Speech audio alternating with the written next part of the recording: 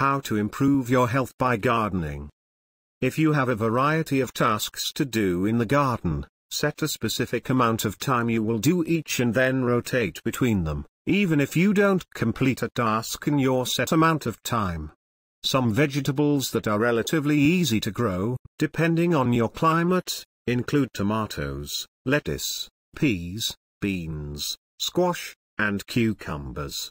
Begin with a few of these if you are new to gardening. For instance, many plants need to be planted after the last frost in the spring, such as tomatoes, squash, and corn.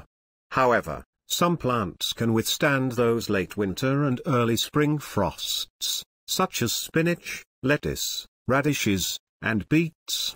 Avoid adding a lot of fat to your vegetables when cooking them. Instead of frying or sautéing them with added oil, try steaming them to bring out their wonderful flavor without incorporating a lot of unhealthy fat.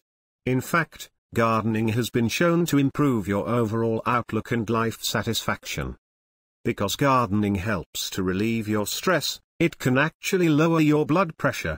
Gardening has been shown to prevent dementia in seniors, as it exercises the parts of the brain that are connected to learning and creativity to their diets and maintain their weight loss long term. Consider your weight loss. Weigh yourself weekly and then tally up how much you've lost over the entire month. If you're doing well, you may choose to continue with your current plan. If you haven't lost much weight, you might need to take a look at your food diary or calorie levels and adjust as needed.